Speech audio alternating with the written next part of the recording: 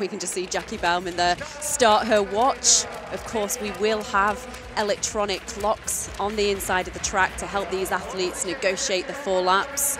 So Jackie Baumann has been tasked with the pace, 59 seconds, as the small figure of Nakaayi decides to pass and she hits the front now.